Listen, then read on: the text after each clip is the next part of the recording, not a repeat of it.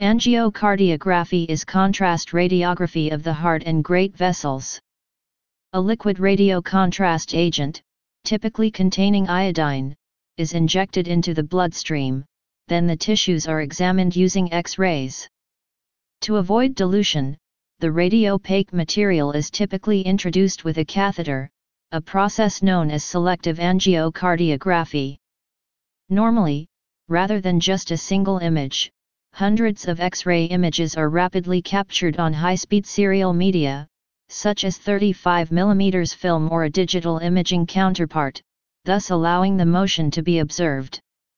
The process requires fasting before the test, with a sedative and an antihistamine being administered before the test.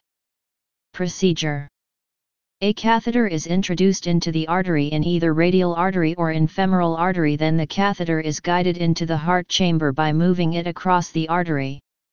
A contrast medium is then introduced to the specific part through the catheter and during which a series of images are produced.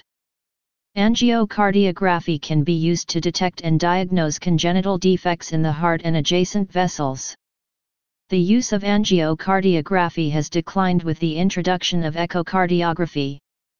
However, Angiocardiography is still in use for selected cases as it provides a higher level of anatomical detail than echocardiography. Please subscribe and thanks for watching.